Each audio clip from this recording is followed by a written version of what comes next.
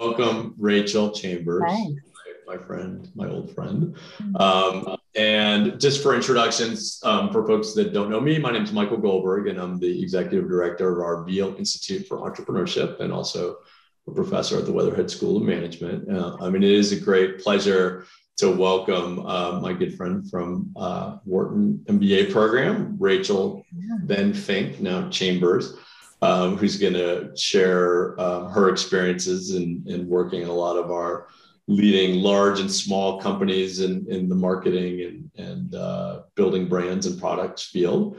Um, we're thrilled, as, as we always do um, with these sessions, to have student moderators and Vishwa Aduru. Am I pronouncing your last name? How do you pronounce your surname? Yeah, that's right. Aduru. I had uh, Vishwa's brother, Chai, as a student. They're um, great, great family um, from Austin, Texas, all the way up here in chilly Cleveland, and um, proud members of the Case Western Reserve men's tennis team. And Earl is, is here as well from the tennis team. Um, so these sessions are best when people ask questions. Um, so for those that are here on Zoom, or if you're on LinkedIn Live, if you're in Zoom, just let Vishwa and I know if you have a question, and we'll work you in. And if you're on LinkedIn Live, just put a question in the comments and I will be monitoring it and I'll feed it to Vishwa. So with that, over to you, Vishwa and Rachel. Thanks for joining. Sure, absolutely. Hi, uh, yeah, I'm Vishwa Aduru. I'm um, currently a freshman at Case. Um, I'm currently un- undecided on my major. I'm looking into finance, computer science, um, something in those fields. Um, but yeah, so I'm really excited to be moderating this session today. Um, and so just to start off, uh, I was wondering, if, Rachel, if you could just talk a little bit about yourself, maybe, and um, your career field path for now. Yeah, yeah, yeah, yeah. Uh, absolutely. So yeah, so I have, um, let's see, went out of undergrad, wanted to work, thought I wanted to be an investment banker, and uh, had the opportunity to work in commercial real estate, um, an investment company. It's now Jones Lang LaSalle's the company now, and uh, in their analyst program and it was interesting like it, it all links together there but one of the reasons i was interested in commercial real estate because there was a physical asset linked to it you know so versus these amorphous products and everything there was something physical tangible you were working with.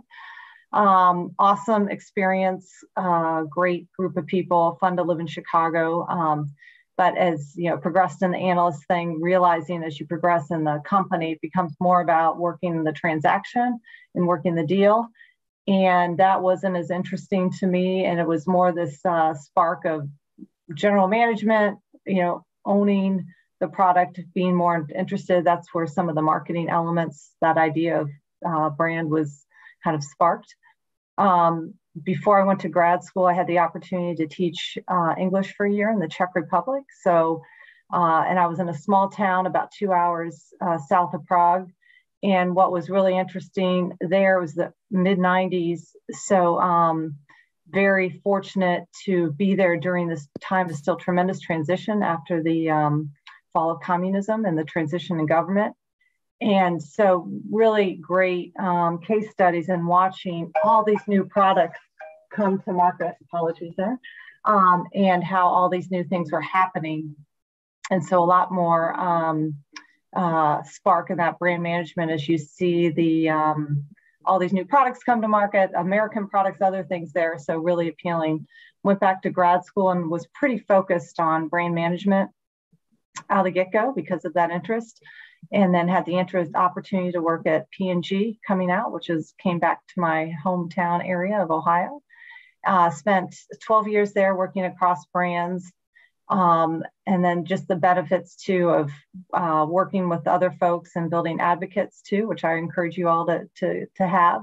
Um, had the opportunity to, uh, an old boss of mine at uh, P&G became the head of Starbucks uh, CPG business. So wanting to bring all that business, so I had the opportunity to go out and be a part of building that capability uh, at Starbucks, an amazing experience. And then we needed to be, we moved to Seattle, but needed to be back in Cincinnati. So came back and joined a confection company, a candy company, which was family owned. Uh, Perfetti Van Melle is the name, which most of you probably don't know, but they're some of the brands they make, hopefully you know and love. Uh, Airheads Candy and Mentos Candy and Gum are two of the key US brands. And then um, just recently, in the past six weeks, uh, I've joined uh, Voss Water. And again, another opportunity of an old boss uh, from Starbucks actually is the um, uh, new CEO of Voss Water and uh, building a new team. So he asked me to come on board to lead marketing. So great opportunity. And so just great uh, also experiences across big publicly traded, uh, privately held, family owned, and now very uh, learning the ways of private equity. Um, well, and uh, some of the multiple stakeholders, multiple owners, that model as well.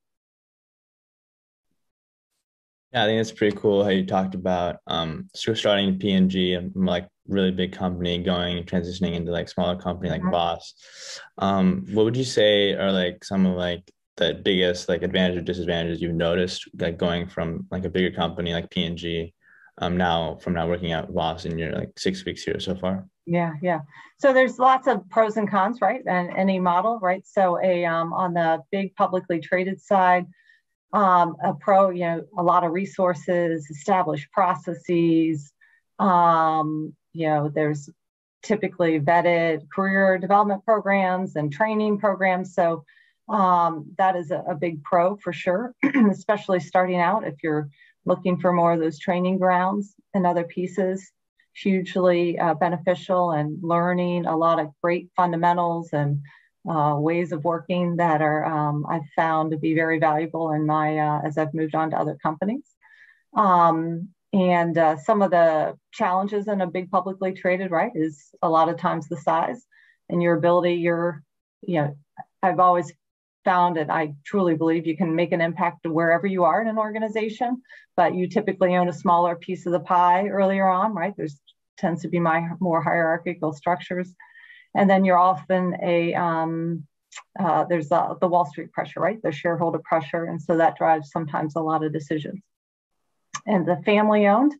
Um, so you, you remove the whole, all the, the shackles of uh, publicly traded, right? And all those pieces, but now you have an owner, right? Somebody who's, this is their baby, this is what they've done. And, you know, you um, are working for them. So that comes with its own uh, you know, both awesome things, right? They offer resources. You can have a longer term view, um, but they are, you know, they're they're the owners, right? And so you serve at their pleasure.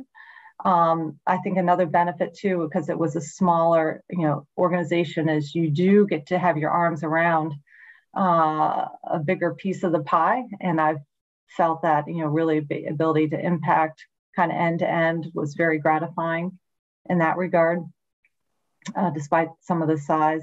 And now at Voss, I'm still, it's still very early days.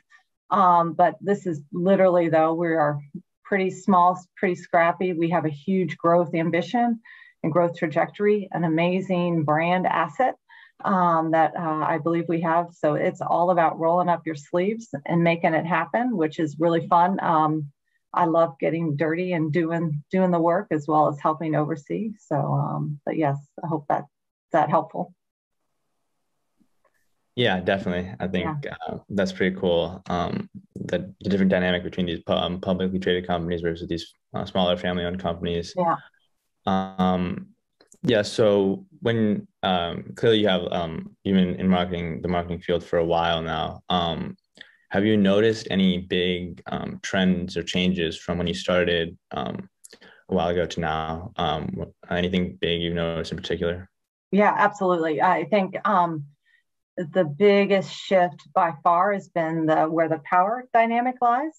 So, and I kind of came in on the tail end of this, but it used to be the manufacturer uh, and CPG in particular, right, uh, had a lot of the power. They had the power to really influence retailers to carry their items. Really, a lot of power in the marketing, right, um, and from in driving consumer choice. Um, and that's really shifted. So first I watched the shift from manufacturer to retailer as retailers built scale um, and through acquisition and growth. So it went from all the different um, uh, mom and pop grocery stores and you didn't have a lot of the chains.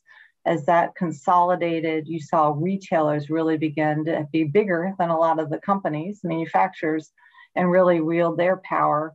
And so how, you know, some of that power dynamic shift there And then the latest shift has been in the past, you know, 10, 15, well, it's been more than that, but really in the past 10, 15 years, the shift now, the power base to the consumer, right? So the consumers now have so much more um, ability to drive the conversation, drive the engagement, drive where they go, drive their choice. Um, so it's really been that power shift has been probably the most dynamic. And then that's, so that's really changed a lot of the ways we go to market, um, how we think about uh, levels of partnership, how we work with consumers, and and with some of these shifts as well. I think the other piece that an outcome of that is just the um, fragmentation of media.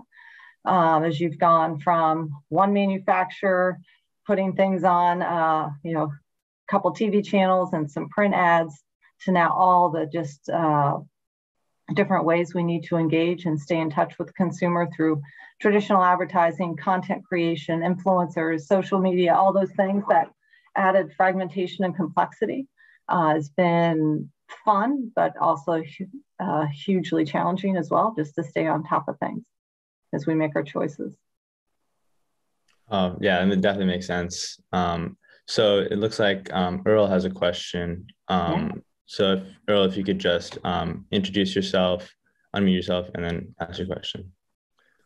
Uh, hi, Rachel. Thanks for doing this today. Yeah. Um, so I'm a I'm a senior at Case. I'm, I'm getting a bachelor's in economics, and I'm pursuing a master's in finance. And I am a uh, team member of Vishwa. And nice. um, um, I guess my question goes back to uh, you. You talked about a lot of big brands. You work with a lot of big brands like Starbucks. Yeah. You've worked with Airheads, and so I was wondering if if if I'm a startup and I want to establish a brand, have you noticed anything about these companies that have like made them stand out and like how they developed the brand, how they kind of marketed the brand to kind of make them successful and some things that you can um, impart onto someone trying to build a brand?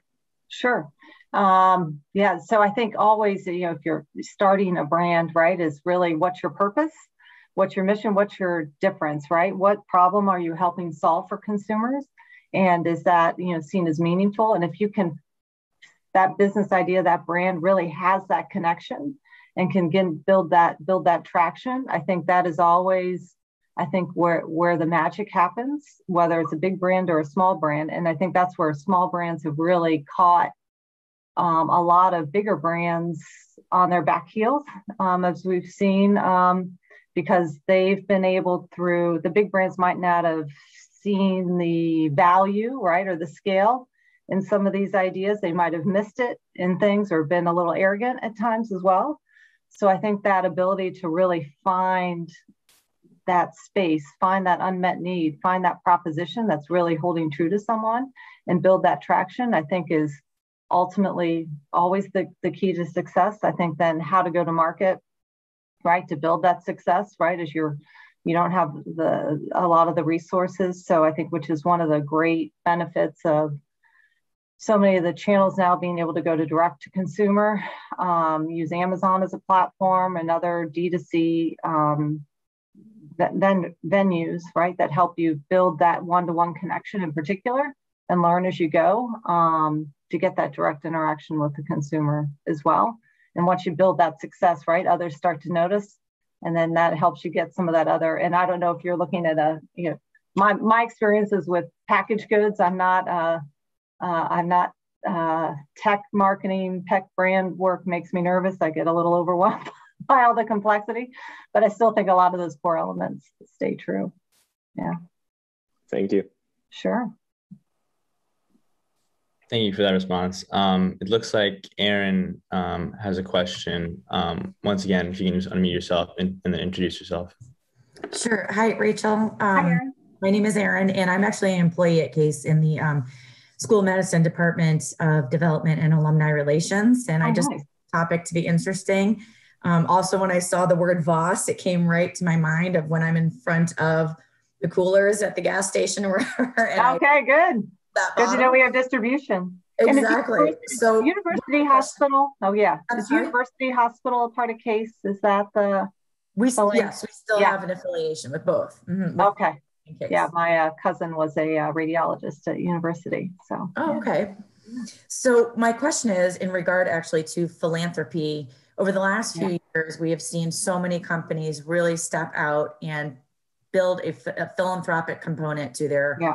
Organization and really advertise, you know, not just the product, but you know, here's what we're going to do for the community. Yeah. And I'm wondering, as we think going forward, and a lot of those are large companies right now, what kind of opportunities job wise do you see maybe within companies, even if they're a smaller or mid-sized company, you know, real life job titles, not necessarily foundation piece where they're going to give a bunch of money away, but that type of work, um, you know, do you see that growing? Do you see that, you know, actually being real job piece? I mean, where does that live within a company? Yeah, it's a good question. So I think it's, um, yeah, what's what's the role of? So I think it starts with the brand's purpose, right? If they've been able to clearly articulate what their purpose is and identify their stakeholders, right, that they believe are really key and what roles community and giving play in that, right? So um, I think consumers are continuing to become more and more savvy and demanding that of their brands. Um, and but I think it's where in their life stage how they want to execute that, right? Does that become just through uh, giving? Does that become a job title in and of itself or linked to, to other things? So, for example, I think where we are right now, you know, I've um, uh, we do a lot of corporate giving in terms of giving. So we, the brand's been through a lot of different ownership things uh, the past several years. So there's been some ups and downs uh, and, and uh, consistency, um, but still giving and sharing water is such a core vital part of people's lives. So like, for example, in this past year, we've donated over a million bottles of water um, to organizations. Now that wasn't a job you know someone's dedicated job right so there was a, a gentleman on my team uh, that leads a lot of our social and influencer helped sync up and we worked with um, dwayne johnson as one of our the rock is one of our um, uh, spokes or partners and with him and other influencers right to how can we help facilitate that we have our whole supply chain um, piece that has all the uh, parts. So it's been a part of people's jobs mm-hmm. uh, it, where I've been today versus a um, dedicated role. And again, we're, we're pretty small. Um, I think at other companies like Starbucks, right, where there is so much more about, you know, the initiatives around veterans, uh, around, um, you know, partner engagement, around education, right? There's other places where there are um, mm-hmm. very robust roles and dead things dedicated to that. So I, I don't really know if how many of those roles really exist, but I'd say there's room for mm-hmm. them. Um, but I think flexibility and interest in um, uh, being able to wear multiple hats is probably, you know, uh, savvy too. I think we're seeing it a lot with diversity and inclusion too, mm-hmm. right? How to think about those roles as just absolute dedicated roles because sometimes they really need to be, versus mm-hmm. do they become something that you know becomes a part of someone's role if that makes sense right I know, did i answer your question no it does and it also made me think sort of from a selfish perspective yeah. i do. You know there's i think there's an opportunity here to make not make but encourage eh, you know somehow influence or encourage those who are buying your product are not just paying for your product but if they know your product is giving x amount to absolutely. Yeah. such group not only have they been a customer at that moment, but they've been a little bit of a philanthropist too, which I think absolutely, yeah, way for sort of helping our, our world stay in that um, stay in that mindset of philanthropy that you can do, a, you know, even just a smidge. Absolutely, yeah. I think some brands have made it really core to their identity, right? Like the Tom mm-hmm. Shoes of the world, and I know they're changing their model right now, and others and um, and others have figured it out as they've gone along. Um, but I think always starting with what's your purpose as a brand? You know, why are we existing? Why are we getting there? And who who are the stake? You know, who are those people that we want to to work with and involve? And I think consumers definitely appreciate. I think the model of corporations purely just for profit is you know shifting. I think in a good way. Um, and how do we just keep and, and do that and execute that within on a company by company level. But I agree, consumers are demanding it a lot more now uh, than we have in the past. Thank you so much. Thanks sure, for absolutely. Yeah. Yeah, thank you for that. The, the question, uh, great response. I think um, definitely hope to see more um, corporate philanthropy in the future. Um, I think Professor Goldberg um, has a question now. Yeah, about airheads. It's gonna be a, t- it's gonna be a tough one, Rachel. You yeah. aren't gonna get out of here without a grilling from me.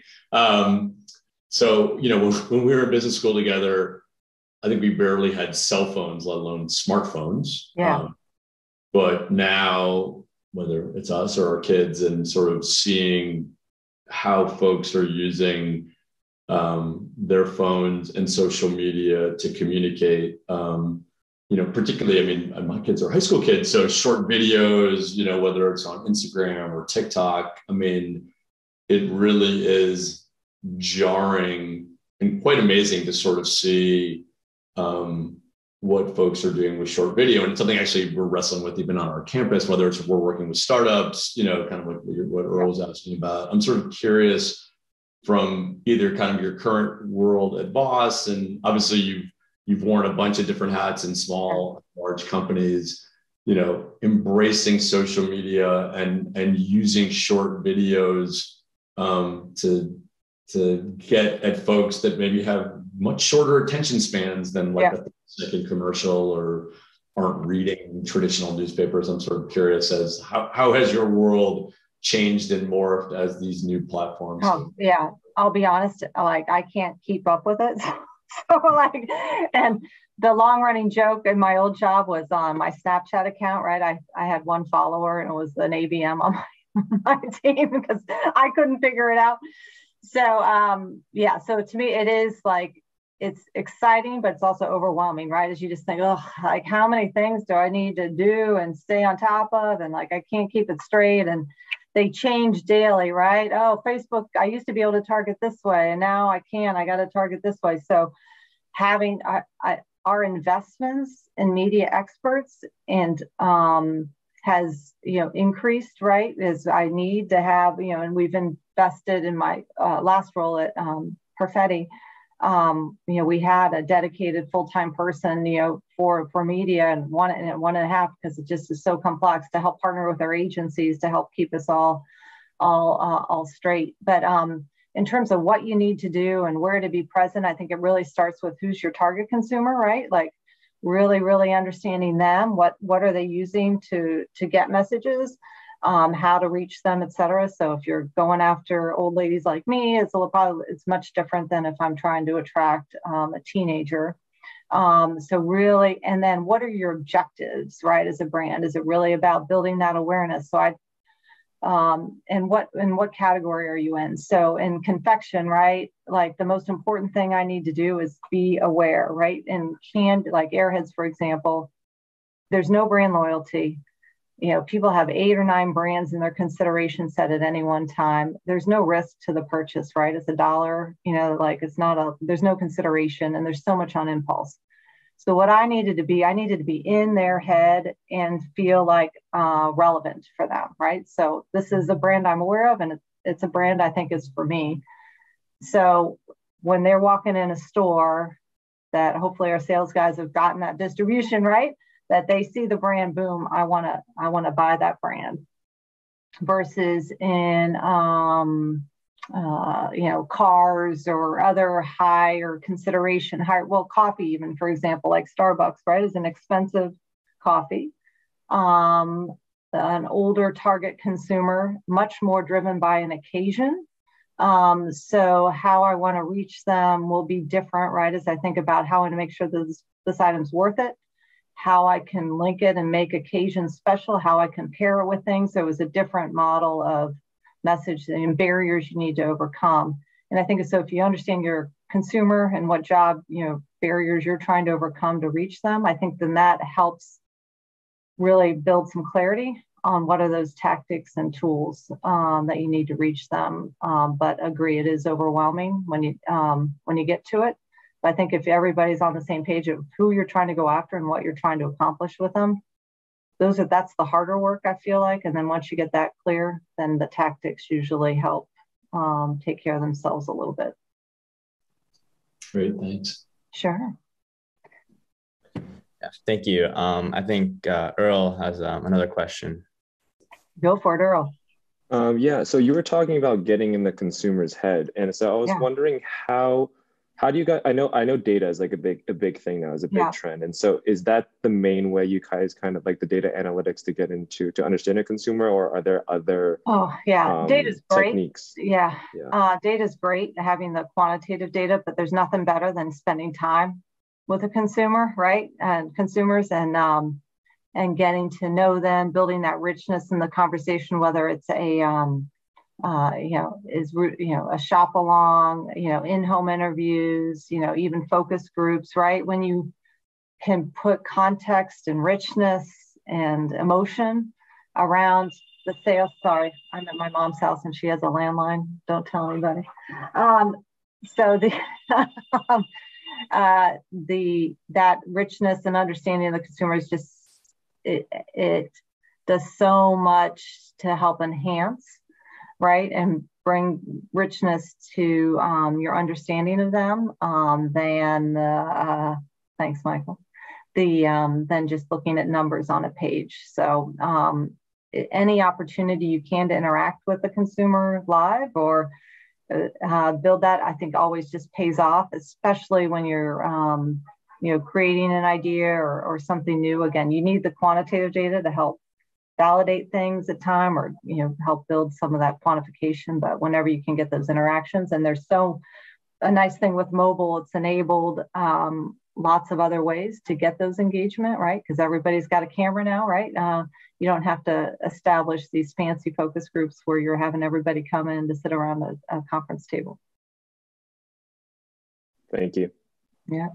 And i've been known to spy on people in the grocery store too and ask them uh, ask them questions on the fly. Uh, uh, thank you. Um, I was wondering. Um, so we talked about like the target consumer, um, and so when we're when you try to like um, implement like a new marketing strategy, yeah. and it might not be successful, um, what kind of like options uh, do you look at? Um, try to like change that, and also, and at what point do you try to think about maybe changing your target audience or things like that? Sure. Absolutely. Yeah. So I think there, um, you know, not everything's always successful, right? So I think it's always making sure you spend the time and digging through and doing a good postmortem of why, what, what, what, what went sideways, um, because every plan never is executed well as well uh, as planned.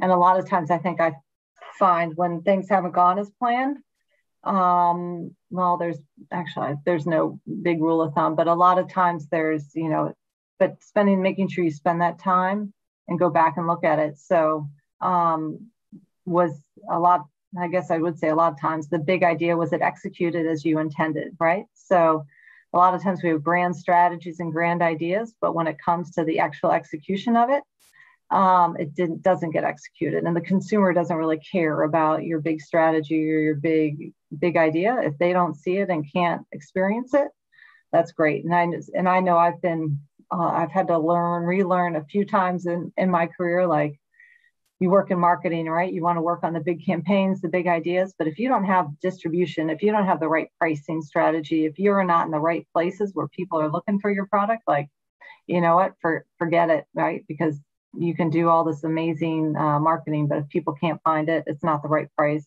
it's not in the right section of the store, forget it. So, um, but I think it's always doing that post looking about, you know, what did I intend to do? How did it execute?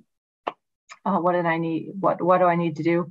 Understanding the category dynamics, right? Are we seeing new entrants coming in? Are we seeing shifts in how uh, people are, are uh, experiencing the category, new occasions that are emerging? I think you just really need to stay in touch with, um, with the data and the trends as well. Um, but I think you know, I think to your initial piece of things go sideways, right? I think it's always making sure you do that, spend that appropriate time and do an honest postmortem, uh, which sometimes can be challenging because folks like, let's just move on. Let's just move on, right? I don't want to rehash the past. Let's just move on. There can be um, uh, defensiveness, right? Like, you know, people don't want to be in the blame game let's build, not blame. You know, uh, uh, don't want to feel like they're being picked on. But I think whenever you can get the folks around the table uh, to really do that deconstruction, always with the mindset of how do we do better, um, always pays out. But it's not always easy to do. Right. Yeah. I think especially finding like pinpointing the specific problem mm-hmm. um, is definitely it seems like a tough spot.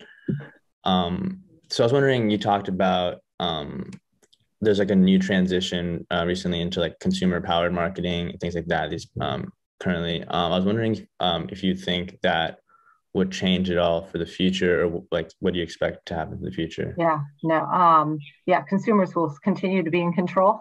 Uh, I, I don't see that changing, and I think well, how will we continue to adjust uh, to that, um, and how will the, our ways of shopping uh, continue to adjust? I think it's been this past year has been really um, interesting. I mean, hard in lots of ways, but uh, really interesting too because it's fast forwarded a lot of trends, accelerated some crazy trends, and um, what will be the lasting impact that that has on um, on our how we shop, how we use products, how we interact with products as well.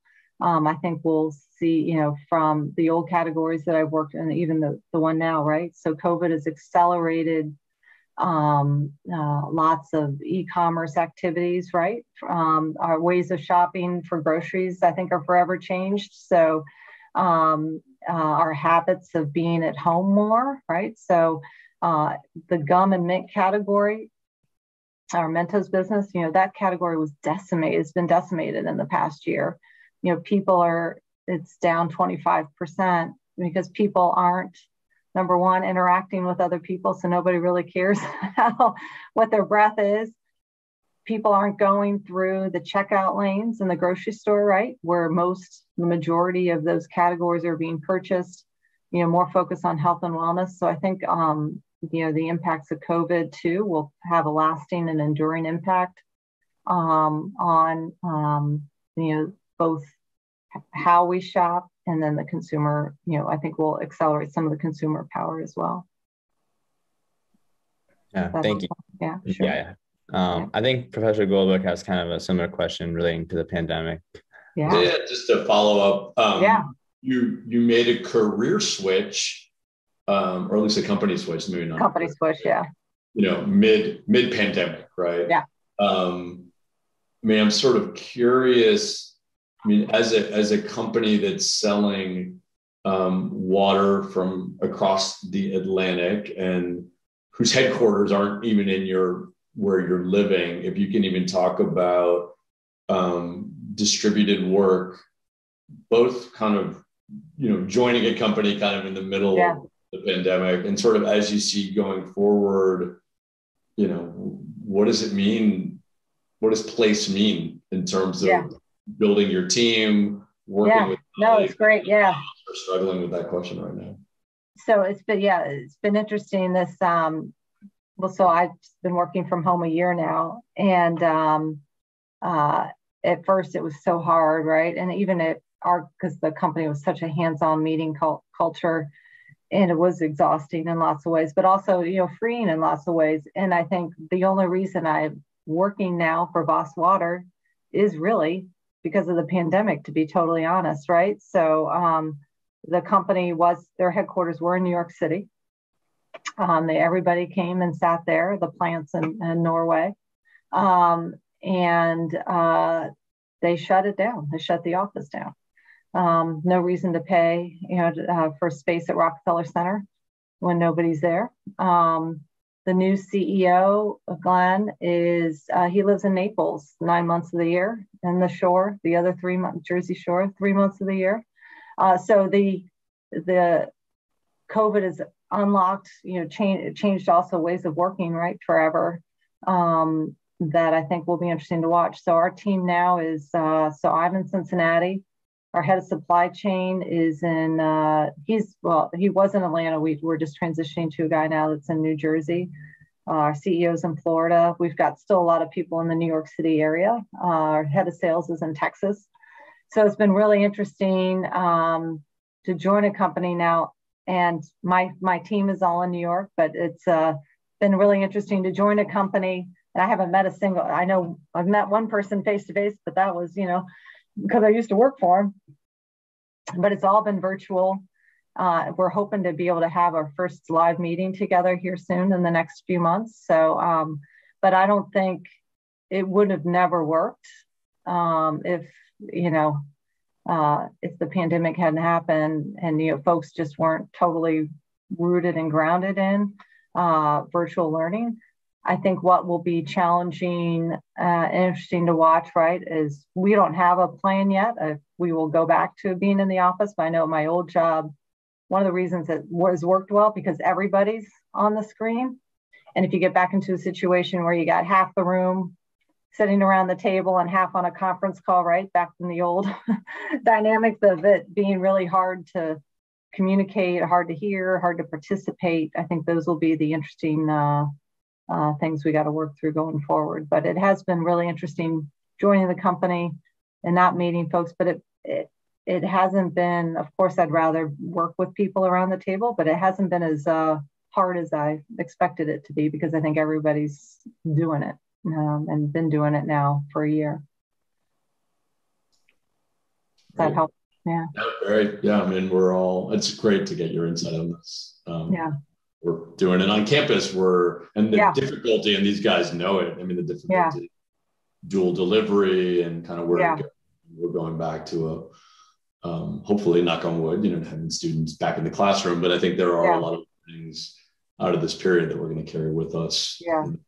Yeah, my sister's got a. She's a public school teacher in Chicago, and she's trying to do the, uh, you know, where she's got half the kids on the computer and half in the classroom, and that that to me has got to be the ultimate challenge uh, of how you and making sure you're addressing both groups. So. Yeah. Sure. All right, Vishal, maybe one more question, just for time. Yeah, sounds good. Um, I just had a just one last question um, regarding like um, if for individuals um, in in college looking to get into marketing, mm-hmm. um, would you recommend like any like what, you, what would you say like some, maybe some technical skills um, they should try to learn in order to like be yeah. successful in the field? Yeah. Um, good question. Yeah, because I was an arts and science major undergrad.